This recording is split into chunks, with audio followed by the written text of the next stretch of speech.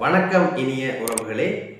ஜப்னா நேச்சவர்லில் இருந்து உங்கள் உறவாய் என்றும் ரவிச்சந்திரன் நுரோஜன் இன்றைய தினம் இலங்கையில் அண்மையிலே பல்கலைக்கழகங்களுக்கு தெரிவு செய்யப்பட்டவர்களுக்கான ஒரு பட்டியல்ன்றது வெளியானது. அந்த வகையில் பலருக்கு பல்கலைக்கழக அனுமதி கிடைக்கப்பட்டுள்ளது. அவர்களுக்கு முதற்கண் வாழ்த்துக்களை தெரிவித்துக் கொள்கின்றோம். காபோத உயர்தர பரீட்சையில் மூன்று பாடங்களும் சித்தியடைந்தும் பல்கலைக்கழகங்களுக்கான தெரிவு பட்டியலில் உள்ளடக்கப்படாத மாணவர்களுக்காகவே விடுதான நோக்கமாக கொண்டு இக்காணொலியானது தயாரிக்கப்பட்டிருக்கின்றது. இப்பொழுது நீங்கள் முதலாவது உங்களுடைய சுவட் அனலைஸ் என்று சொல்வார்கள். உங்களுடைய பலம் மற்றும் பலவீனங்களை முதற்கண் நீங்கள் அனலைஸ் பண்ண வேண்டும். அதை ஆராய்ந்த பிறகு இ- இப்படியான ஒரு களம் அவ- வந்த பிறகு இப்போ நீங்கள் உங்களுக்கு மூன்று பாடமுமே ஏஎல்ல பாஸ் ஆனால் உங்களுக்கான யூனிவர்சிட்டி என்ட்ரன்ஸ் ஆனது கிடைக்கப்பெறவில்லை. சிலருக்கு அது வெயிட்டிங்கில் கிடைப்பதற்கான சந்தர்ப்பம் இருக்குது சிலருக்கு அதற்கான சந்தர்ப்பம் இல்லை. அப்படியும் அந்த வெயிட்டிங்லேயும் வருவதற்கான சந்தர்ப்பம் இல்லாத பட்சத்தில் நாங்கள் என்ன செய்யணுன்றதை நாங்கள் முதற்கண் யோசிக்கணும். இது இதற்கான பல்கலைக்கழகங்கள் மட்டும்தான் வாழ்க்கை என்று இல்லை. பல்கலைக்கழகங்களையும் தாண்டிய ஒரு வாழ்க்கை இருக்கின்றது. இப்பொழுது முதற்கண் நான் பல்கலைக்கழகங்களை மையமாக கொண்டு முதலாவதாக என்ன செய்யலாம் என்று சொல்கின்றேன். இப்பொழுது உங்களுக்கு த்ரீ பாஸ் இருந்தும் பல்கலைக்கழகங்களுக்கான தெரிவு பட்டியல் உள்ளடக்கப்படவில்லை என்றால் இப்பொழுது நாங்கள் ஒரு வேலையை செய்து கொண்டும் பல்கலைக்கழகத்தில் படிக்கலாம். இப்போ நீங்கள் அரசாங்க பள்ளிக்கூடத்தில் அதாவது அரச ப- பல்கலைக்கழகத்தில் தான் கல்வி கற்கணும் என்ற உங்களுக்கான ஒரு இலட்சியம் ஆம்பிஷன் இருந்தால் நீங்கள் உங்களுக்கான இன்டர்னலாக ஒரு ஸ்டூடெண்டாக நீங்கள் இணையாத போதிலும் எக்ஸ்டர்னலாக நீங்கள் ஒரு டிகிரியை செய்து அதனோட ஒரு வேலையையும் செய்து கொண்டிருந்தால் உங்களுக்கு ரெண்டையும் அதாவது ஒரு தொழிலும் இருக்குது அதோட ஒரு பல்கலைக்கழகத்துக்கான டிகிரிக்கான அதாவது எக்ஸ்டர்னல் டிகிரிக்கான ஒரு சந்தர்ப்பமும் உங்களுக்கு அமையுது. ஆகவே உங்களுக்கு ரெண்டு தரத்தாலையும் அதாவது ரெண்டு பக்கத்தாலையும் உங்களுடைய வாழ்க்கையை நீங்கள் கொண்டு போகிறதுக்கு இலகுவான வழியாக இருக்கும் அதோட அல்லது இப்போ நான் முதற்கண் இப்போ நாங்கள் ஒரு அனலைஸ் பண்ணும்போது இப்போ அதுக்கான ஆரம்ப கட்ட சுச்சுவேஷன்ஸை அனலைஸ் பண்ணணும். இப்போ உங்களுடைய ஒவ்வொருவரும் தனிப்பட்ட முறையில் உங்களுடைய குடும்ப பொருளாதார பின்னணின்றது வேறுபடலாம். லோ கிளாஸாக இருக்கலாம் மிடில் கிளாஸாக இருக்கலாம் அப்பர் கிளாஸாக இருக்கலாம் ஆகவே இப்பொழுது சிலருக்கு இப்பொழுது இப்போ த்ரீ பாஸ் பண்ணியிருக்கீங்க. ஆனால் உங்களுக்கான அனுமதி இல்லை. சில பேருக்கு அதாவது இப்போ ஒரு செல்வந்தரா இல்லாட்டி ஒரு பணம் படைத்த ஒரு தர வர்க்கத்தோடு இருக்கிறார்களுக்கு அவர்கள் ஏதாவது எக்ஸ்டர்னலாவோ அல்லாட்டி அவர்கள் ஏதாவது ப்ரைவேட்டாவோ அல்லாட்டி மேற்கொண்டு ஏதாவது வெளிநாட்டு செல்லல் மூலமோ ஏதோ ஒரு தங்களோட வாழ்க்கையை அமைத்துக் கொள்வதற்கான ஏற்பாட்டான அந்த ஒரு வீதமானது மிகவும் உச்சநிலையில இருக்குது. மற்றது இப்போ ஒரு செல்வாக்குள்ளவர் அதாவது பணபலம் மற்றது ஏதாவது அரசியல் செல்வாக்கு இருக்கிறார்கள் ஏதோ ஒரு பலத்தால வேலையோ அல்லது ஏதோ ஒன்று எடுத்து அடுத்த கட்டத்துக்கு செய்ய முடியும். அதோட இந்த சுயமாக தங்களுடைய பொருளாதாரத்தை செய்கிறாங்க சிலருடைய ஏதாவது கடை வச்சிருப்பினம் இல்லாட்டி ஏதாவது சுய பொருளாதாரத்துக்காக ஏதாவது பெரிய ஃபேக்டரிகள் பெரிய பிஸ்னஸ்கள் பண்ணி கொண்டிருக்கிறார்கள் கூட தங்களுடைய தொடர்ச்சியான அந்த பரம்பரை வழியான தொழிலை செய்வதற்கான ஏற்பாடுகள் இருக்குது ஆனால் இப்போ நாங்கள் ஒரு மத்திய தர வர்க்கத்தில் ஆல்ரெடி ஒரு லோ கிளாஸ் ஃபேமிலியில் நாங்கள் பிறந்திருப்போம்னா இப்போ எங்களுக்கு மூன்று பாடமும் பாஸ் ஆனால் எங்களுக்கான பல்கலைக்கழகங்களுக்கான தெரிவு என்பதற்கான சந்தர்ப்பம்ன்றது ஒரு கேள்விக்குறியாக இருக்கிற பட்சத்தில் நாங்கள் எங்களுடைய சுச்சுவேஷனை அதாவது எங்களுடைய ஸ்ட்ரென்த் வீக்னஸை நாங்கள் முதல் அனலைஸ் பண்ணணும். எங்களுடைய பலம் பலவீனங்களை அறிந்த பிறகு நாங்கள் அதற்கான தேவைகளை நாங்கள் இனங்காணணும். இப்போ நாங்கள் அடுத்த கட்டம் என்ன செய்ய போகிறோம் இப்போ நாங்கள் சில சில நாங்கள் மேத்ஸ் பயோ படிச்சிருக்கலாம். ஆர்ட்ஸ் காமர்ஸ் டெக்னாலஜி படிச்சிருக்கலாம். எந்த துறை படித்தாலும் நாங்கள் முதல் இப்போ இருக்கிற களத்தை உணர்ந்து கொண்டு தான் செய்யணும். இப்போ நாங்கள் மேத்ஸ் பயோ படித்து நாங்கள் தானே கொஞ்சம் ரங்கி வாரத்துக்கு கூச்சப்படணும் வைக்கப்படணும் அப்படியெல்லாம் பார்க்கக்கூடாது. நாங்கள் முதல் இருக்கிற சுச்சுவேஷனுக்கு இப்போ நாங்கள் இருக்கிற இந்த நிகழ்காலம் அதாவது ப்ரெசென்ட்டில் இப்போ என்ன செய்யணுமோ அதைத்தான் நாங்கள் கருத்தில் கொண்டு அடுத்த கட்டத்துக்கான தீர்மானத்தை எடுக்கணும் ஏன்னா இது இப்போ ஒன் டைமில் தான் நாங்கள் இப்போ ஒரு வாழ்க்கைக்கு எதிர்காலத்துக்கான ஒரு முக்கியமான ஒரு தீர்மானத்தை எடுக்க வேண்டிய தேவைப்பாடு இருக்கின்றது. ஆகவே நாங்கள் அந்த ஒன் டைமில் எடுக்க வேண்டிய டிசிஷன் தான் எங்களுடைய வாழ்க்கைக்கு ஒரு மிக பிரதானமான ஒரு வகிபாகத்தையும் சிறப்பான ஒரு வழிகாட்டலையும் எங்களுக்கு நாங்களே சுயமாக மேற்கொள்ளக்கூடிய வகையில் இருக்கு. ஆகவே இப்போ பல தெரிவு இருக்கு. இப்போ நாங்கள் த்ரீ பாஸ் இருக்கு. இப்போ நாங்கள் யூனிவர்சிட்டி இது வெயிட்டிங்லேயும் நமக்கு கிடைக்காதுன்ற ஒரு பட்சத்தில். இல்லாட்டி வெயிட்டிங்லேயும் லிஸ்ட் வந்து நமக்கு கிடைக்கல என்ற பட்சத்தில்.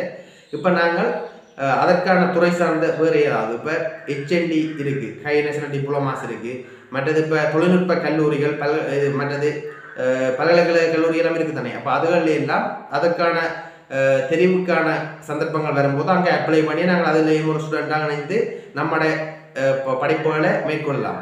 அவ் அவ்வாறான இதுகளிலேயே நமக்கான இது இல்லாத பொழுது இப்போ நாங்கள் ஏல த்ரீ பாஸ் இருந்து இப்போ இலங்கையை பொறுத்தவரையிலையும் ஏல த்ரீ பாஸ் இருந்து காபோத சாதாரண பரீட்சை அதாவது ஓலவெல்ல மெயினாக மேத்ஸ் பாடத்திலையும் தமிழ் பாடம் அதாவது தாய்மொழி அது சில பேருக்கு சிங்களமாக இருக்கும் சில பேருக்கு தமிழாக இருக்கும் தாய்மொழியில் சீக்கு மேலே அதே போல் கணிதத்தில் சீக்கு மேலே ஆங்கில பாடத்தில் காபோத சாதாரணத்தில் எஸ் சித்தியை பெற்றிருந்தா இப்போ நாங்கள் அடுத்த கட்டத்துக்கு நாங்கள் இப்போ ஒரு போட்டி பரீட்சைகள் இருக்கு. இப்போ சகல போட்டி பரீட்சைகளும் இருக்கு. அதாவது ஏ லெவலோட நாங்கள் முகம் கொடுக்கக்கூடிய போட்டி பரீட்சைகள் இருக்கு.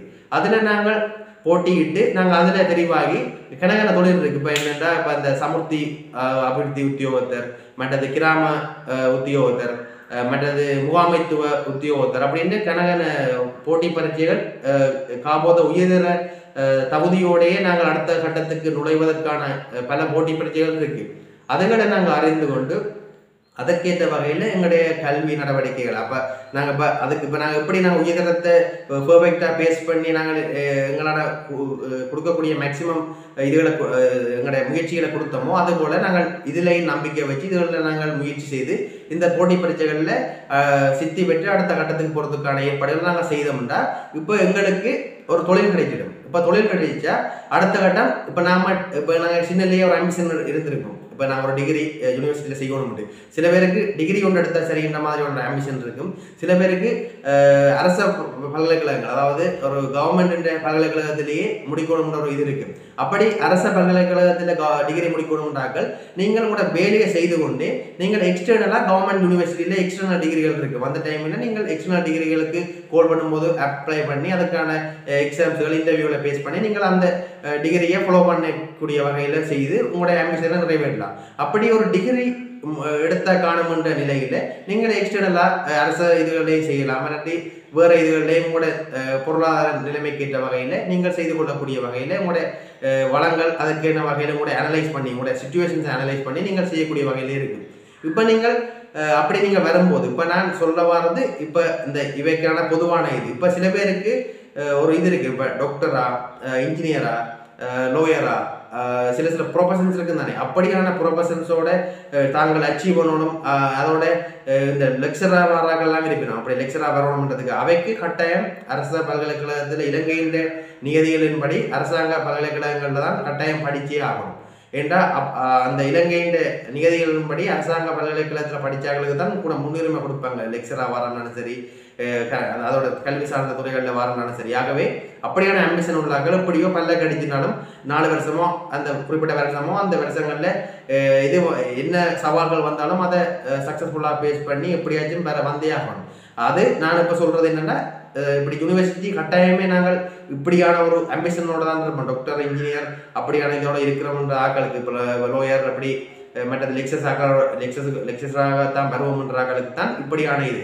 மற்றபடி நாங்கள் இப்போ எப்படியாச்சும் வாழ்க்கையில் முன்னேறணும். அப்படி எப்படியாச்சும் ஒரு டிகிரி எடுக்கணும் எடுக்கணும்ன்றாங்களுக்கு நீங்கள் ஒர்க் பண்ணிக்கொண்டே எக்ஸ்டர்னலாக படித்து கொண்டு வரலாம். அப்படி நீங்கள் படிக்கிற பட்சத்தில் இப்போ நீங்கள் ஒரே ஒரே தரத்தோட இருக்கிறீங்க இப்போ இப்போ உங்களோட இந்த சுச்சுவேஷனில் உங்களோட டிகிரி எடுத்தால் டிகிரி எடுக்கிறதுக்காக இப்போ உங்களுக்கு ஆரம்பத்திலேயே இப்போ இப்போ உங்களுக்கான இது வந்திருக்கு தானே? அப்போ நீங்கள் யூனிவர்சிட்டி போகிறதுக்காக ஒரு ஆளுக்கு கிடைச்சிருக்கு இப்போ உங்களுக்கு கிடைக்கிறேன்னு வைங்க அவர் இப்போ ஒரு அஞ்சு நாலு வருஷம் டிகிரிக்கு போகிறார் அந்த டைமில் சில வேலை கன சவால்கள் வரும். சில சில வேலை நிறுத்த போராட்டங்கள் நாட்டில் இப்போ அசாதாரணமாக வந்திருக்கிற கொரோனா சுச்சுவேஷன் அப்படி கணக்கணக்கு சவால்கள் வரும்போது அவர்களுக்கான கணக்கான சவால்களை வரும் சந்திக்க வேண்டி வரும். அப்போ உங்களுக்கு வேலை கிடைக்கிட்டு ஆனால் நீங்களும் ஒரு எக்ஸ்டர்னலாக போகிறீங்க அந்த எக்ஸ்டர்னலாக போகிறதுலேயும் கன சவால்கள் அவர்களுக்கான சவால்களே இருக்குது ஆனால் கணக்க நீங்கள் தியாகம் பண்ணணும். தியாகம் பண்ணி எப்படியாச்சும் உங்களோட கையில் ஒரு டிகிரி வந்துட்டுது அப்போ உங்களுக்கு அந்த டைம் இல்லை. இப்போ உங்களோட யூனிவர்சிட்டிக்கான ஒரு வாய்ப்பு கிடைத்தவருக்கும் இப்ப உங்களுக்குமான ஒரு ஒப்பிட பாருங்க. அவர் ஒரு நாலு வருஷம் அஞ்சு வருஷம் கழிச்சு வார நீங்கள் அதே டைம்ல அட் த சேம் டைம் உங்களுக்கு ஒரு தொழில் இருக்கு. அந்த டைம் நீங்க ஒரு எக்ஸ்டர்னல் டிகிரி முடிச்சிட்டீங்க அதோட உங்களுக்கான வேலைக்கான ஒரு அனுபவம் இருக்கு. அதோட அதோட ஒப்பிடும்போது உங்களுக்கான ஒரு அங்கீகாரம்ன்றது இதுல இருக்கு. இப்ப பெரும்பாலும் இந்த இன்ஜினியரிங் மெடிசன்ஸ் மற்றது அப்படியான படிச்சாக்கள் இது தொழில் வாய்ப்புகளை பெறுறது இலகுவாக இருக்கு. மற்றது நார்மலாக நாங்கள் ஏதாவது கலைப்பாடங்களோ இல்லாட்டி ஏதாவது ஒரு தொடர்பான பாடங்களோ படிக்கும்போது இந்த இந்த வேலை வேலை பெறுவதற்கான போட்டித்தன்மை என்பது கூடவாக இருக்கும். ஆகவே இப்போ நாங்கள் அதுகளுக்கான இதுகளை பெறும்போது இப்போ நாங்கள் யூனிவர்சிட்டி இன்டர்னலாக இன்டர்னல் ஸ்டூடெண்டாக டிகிரி ஹோல்டராகி நாங்கள் வெளியில் வரோம் இருந்த போதும் நாங்கள் தொழிலை உடன் பெறுவதற்கு ஒரு பெரிய சவால் இருக்கும். அப்படி நாங்கள் ஒரு சில பேர் தொழிலை பெறுவோம். பல பேருக்கு அது ஒரு போராட்டமாகவே இருக்குது சரிதானே? அப்போ நாங்கள் இப்போ இப்போ நாங்கள் இதை நினச்சி இப்போ இப்போ நாங்கள் சில இப்போ நான் யூனிவர்சிட்டி போகிறன்றது பெரிய ஒரு வரப்பிரசாதம் இலங்கையை பொறுத்த வரைக்கும். போய் படித்தா இப்போ ஒரு வரமக்கோட்டில் இருக்கிறார்கள் கூட மகாபோலம் என்ற புலமை பரிசில் எடுக்கலாம் அப்படி அரச உத்தியோகத்தில் இருந்து அந்த குறிப்பிட்ட பேசிக் சேலரிக்குள்ளே இருக்கிறார்களுக்கு கூட பேர்சரி கொடுப்பனவங்கள் இருக்குது அப்படிக்கான வரப்பிரசாதங்கள் இருக்குது அரசாங்கத்தின் செலவுகள்லேயே படிக்கலாம். மற்றது மேலதிகமாக குடும்பத்தின் செலவு குடும்பத்தினரிடம் வாங்க அதாவது பெற்றோர்களிடம் வாங்கி நம்முடைய செலவுகளை பார்க்க வேண்டி வரும். மற்றபடி அது ஒரு வரப்பிரசாதம். ஆனால் அந்த வரப்பிரசாதத்தையும் விட இப்போ நாங்கள் இப்போ எங்களுக்கு அது கிடைக்கல. அப்படி இருந்தால் கிடைச்சிருக்கின்றவனுக்கு கட்டாயமாக ஒரு பாக்கியம். அப்படி கிடைக்காட்டியும் நாங்கள் அந்த பாக்கியத்தை பெறுவதற்காக அ, எங்களுக்கு அடுத்த ட்ரெக் கொண்டில் நாங்கள் ஒரு புதிய வழி ஒன்றை நாங்கள் எடுத்து அதில் நாங்கள் அந்த ட்ரெக்கை பெர்ஃபெக்டாக மெயின்டைன் பண்ணி கொண்டு வந்தோம்னா எங்களுக்கான எதிர்காலமானது மிகவும் பிரகாசமாக சிறப்பானதாக அமைய வாய்ப்பு இருக்கின்றது. ஆகவே நாங்கள் எங்களுக்கான இதுகளை அறிஞ்சு செய்யப்படணும். அப்படி நாங்கள் செய்யப்பட்டு வரைக்கும் இப்போ அதே அட் த சேம் டைம் எங்களுக்கு இப்போ டிகிரி முடித்தால் அதாவது இன்டர்னலாக டிகிரி முடித்தாலையும் விட நாங்கள் அனுபவம் மற்றது திறமை மற்றது எங்களுடைய இதால் நாங்கள் ஒரு எக்ஸ்டர்னலான ஒரு கவர்மெண்ட் யூனிவர்சிட்டி டிகிரி முடித்து நாங்கள் அதுக்கு ஈக்குவல் பண்ணக்கூடிய வகையிலையும் கொஞ்சம் இன்னும் இம்ப்ரூவ் ஆகின வகையிலையும் எங்களுடைய வாழ்க்கைக்கான எக்ஸ்பீரியன்ஸ் கிடைச்சிடும். ஆகவே நீங்கள் எதையும் பற்றி கவலைப்படாதீங்க. உங்களுக்கு யூனிவர்சிட்டி கிடைச்சா யூனிவர்சிட்டிக்கான இதுகளில் நீங்கள் அப்படி கிடைச்ச பட்சத்தில் அவர்களுக்கான இதுகளை அவர்கள் செய்வார்கள். சில வேளை கிடை கிடைச்சாக்கள் கூட சில வேளை தங்களுக்கான எதிர்பார்த்த கோர்ஸ் கிடைக்கலன்றதுக்காக சில வேளை திருப்பி எக்ஸாம் எழுதுவார்கள். சில வேளை வேண்டாம் நாங்கள் பிரைவேட்டாக இல்லாட்டி வேறு ஏதாவது டிகிரியை படித்து எக்ஸ்டர்னலாவோ படித்து அடுத்த கட்டத்துக்கு போகும்ன்ற மாதிரியான மைண்ட் செட்டோடையும் இருப்பார்கள். அப்படி நீங்கள் கிடை கிடைக்காதாக்க நீங்கள் மனம் தளர வேண்டாம். நீங்கள் முயன்றால் சிறப்பான எதிர்காலத்தை நீங்களே அமைக்கலாம். ஆகவே கன இது இருக்குது. இப்போ நீங்கள் டீச்சர் டீச்சிங் தான் ப்ரொஃபஷனலாக வரணும்னு நீங்கள் நினச்சிங்கன்னா இப்போ உங்களுக்கு கொலிச்சு இருக்குது கொலிச்ச எஜுகேஷன்ஸ் இருக்குது சரிதானே? அப்படியான இதில் கூட நீங்கள் அப்ளை பண்ணி இன்டர்வியூவை பேஸ் பண்ணி சிறப்பாக நீங்கள் அதில் ஒரு ரெண்டு வருடம் படித்து பிறகு இன்டர்ன்ஷிப் ஒன் இயர் முடித்து அதுக்கு பிறகு வரலாம். சரி தானே ஆகவே நீங்கள் உங்களுக்கான வழிகாட்டங்களையும் ஆலோசனைகளையும் கல்வி சம்பந்தமான ஒரு நபர்கள் இருப்பார்கள். நிபுணத்துவம் பெற்றவர்கள் இருப்பார்கள். ஆசிரியர்கள் இருப்பார்கள். அவர்களிடம் தேர்ந்து அவர்களிடம் தெரிந்து கொண்டு நீங்கள் அதற்கான வழிகளை சிறப்பாக அமைப்பதன் மூலம் வாழ்க்கையில் ஒளிமயமான எதிர்காலத்தை அனைவரும் சிறப்பாக காண்டு கொண்டிருக்க முடியும் என்று கூறி உங்களுக்கும் வாழ்க்கையில் சிற சிறப்பாக தரமான எதிர்காலம் அமைய இறைவனை பிரார்த்தித்துக் கொண்டு ஜஃப்னா நேச்சர் வேர்ல்டிலிருந்து என்றும் உங்கள் உறவாய் ரவிச்சந்திரன் நிரோஜன். நன்றி உறவுகளே.